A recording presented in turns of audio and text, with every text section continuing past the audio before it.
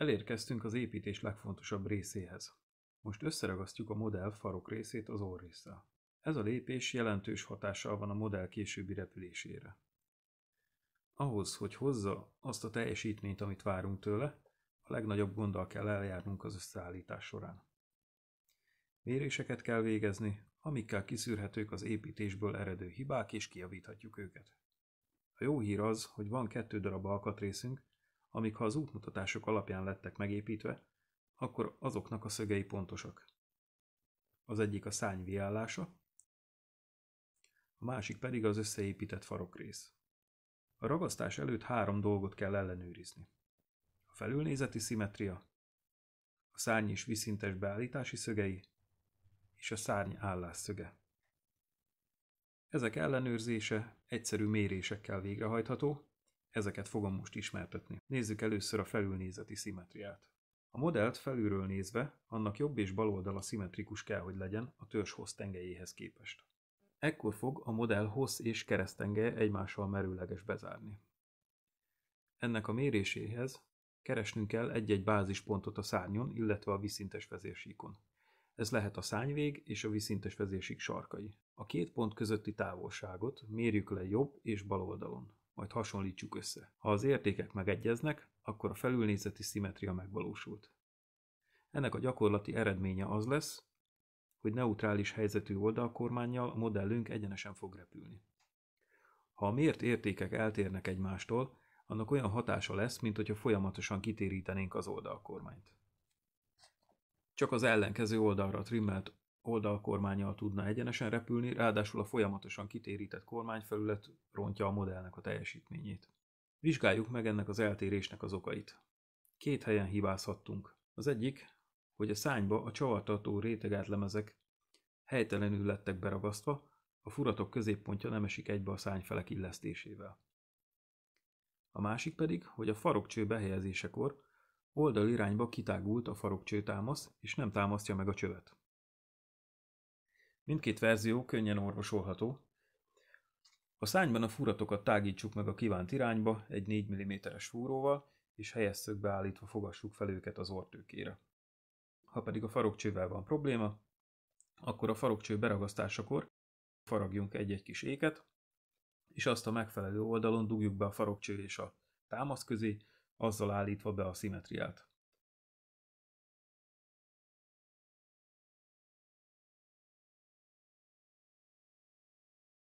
A szány vízszintes beállítási szöge. Ezt a beállítást a vezérsíkokhoz hasonlóan szemre végezzük. Kartonlapra rajzoljunk szintén egy nagyobb keresztet, mint ahogy a vezérsíkok beállításánál csináltuk, és ragasszuk fel úgy a falra, hogy a vonalak vízszintesen és függőlegesen álljanak. Utána szemből nézve vegyük kézbe a modellt, úgy, hogy a szányvégeket fogjuk egy-egy kézzel. Állítsuk viszintesbe a szányvégeket, és ekkor a vezérsíkoknak is pontosan függőleges és viszintes helyzetbe kell állnia. A szárny állásszöge. Nagyon egyszerű a mérése. A szárny aljára fektetett vonalzó éle és a viszintes vezérsík egymással párhuzamos kell, hogy legyen. Egy hosszú vonalzóval a legegyszerűbb lemérni, fektessük az élét a szárny aljára, rögzítsük egy szorító csipesszel az orhoz, fektessük az oldalára a modellt, és súlyozzuk le az orrészt. A vízszintes álló részénél mérjük le a vonalzó éle és a vezérsík közötti távolságot két helyen, a belépőélnél és a zsanérvonalnál. Ha egyforma értékeket kapunk, akkor jó az állásszög. Ha eltérést tapasztalunk, annak két oka lehet. Az egyik, hogy rosszul ragasztottuk fel az ortőke borítólapjait, a másik pedig, a farokcső behelyezésekor kitágítottuk a habot, ezért lóg a farokcső lefelé. Az első esetnél még nem csinálunk semmit, ragasszuk be a farokcsövet. A második esetben szüntessük meg a cső lógását. Ragasszuk be így a farokcsövet, és a pontos állásszöget később fogjuk beállítani. Ha a méréseket elvégeztük, akkor ragasszuk össze az orrészt a farokrészsel. Először is vegyük elő a zsinórvezetőket. Egy csípőfogóval vágjuk le a felesleges részeket,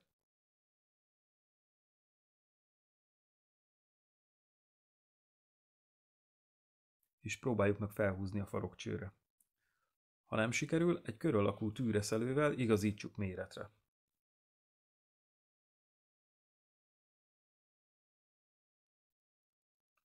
Majd húzzuk fel őket a csőre, köbe a közepéig. Egy csiszoló vászonnal érdesítsük meg a csővéget 4 cm hosszan.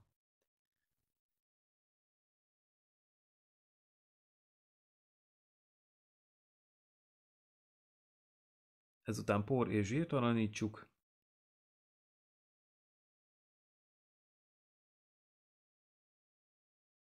Majd keverjünk be 2-2 borsó szemnyi epoxit, és kenjük be a furatot, illetve a cső végét.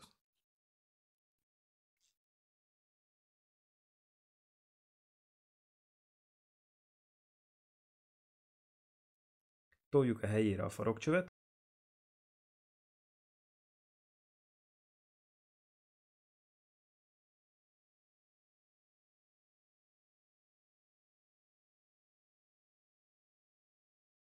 és újra végezzük el a méréseket. Ha szükséges, a már leírt módon korrigáljuk a hibákat.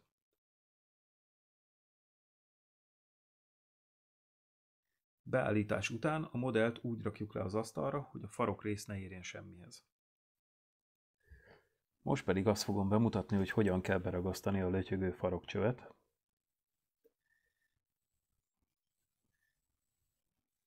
Ugyanúgy bekavarunk egy kis epoxit, bekenjük a furatot, illetve a csővéget.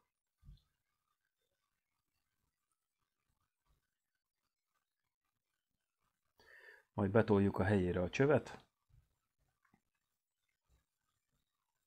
és először szorítsuk fel egy ékkel a felfekvő laphoz a farokcsövet. Ez nagyon fontos, hogy ez legyen az első lépés, hogyha lefelé is kilötyögősödött a farokcső. Majd az oldalsó ékeket illesszük be, de ne toljuk be még nagyon őket. Csak annyira dugjuk bele, hogy ott maradjon a helyén.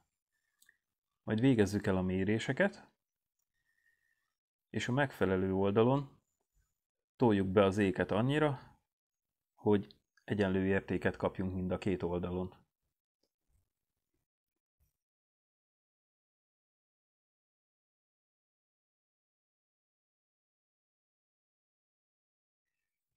Miután megkötött az epoxi, faragjuk le ezeket a balza ékeket.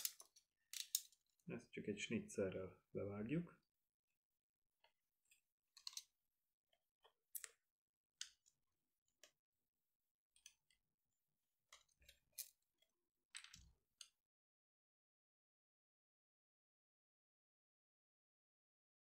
És ha minden mérést jól végeztünk, akkor tökéletes szöget kell, hogy kapjunk, minden stimmelni fog, faroknak és a szájnak az állásszöge tökéletes lesz.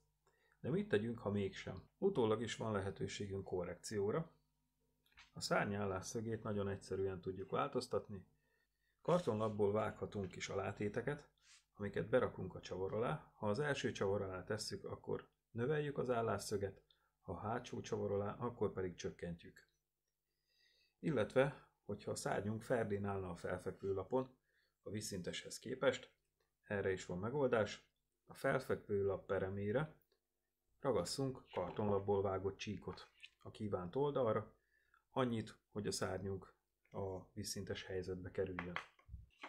Fogjunk egy kartonlapot, ezt vághatjuk valami csomagolásból, ez például egy ilyen színiminiznek a ö, csomagolása. Ahhoz, hogy ezt rögzítsük azon a kis peremen, ragasszunk rá egy két oldalú ragasztószalag csíkot, ha ez megvan, akkor vonalzó mellett levágunk egy 2 mm széles csíkot,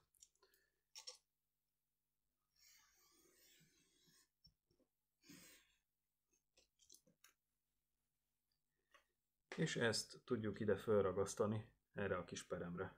A két oldalú ragasztó oda fogja majd a kartonpapírt. Ahhoz, hogy beállítsuk a szárny állásszögét, vágjunk kis karton